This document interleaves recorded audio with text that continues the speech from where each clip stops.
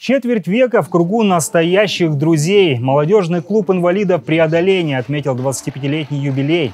Правда, торжественное мероприятие пришлось отложить из-за ограничений по COVID-19, но праздничный вечер все же состоялся. Члены клуба подготовили интересную и насыщенную программу, а гости смогли поздравить юбиляров с круглой датой.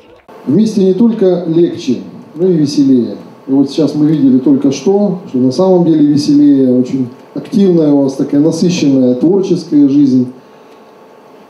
И это помогает реализоваться, помогает найти себя, помогает получить не только хорошее настроение, но и завести настоящих друзей.